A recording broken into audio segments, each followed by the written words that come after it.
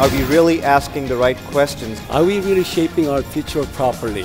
I think that AI has now reached a level of maturity to transform every industry. Over the course of my career, I became increasingly drawn to how machine learning can help transform the world.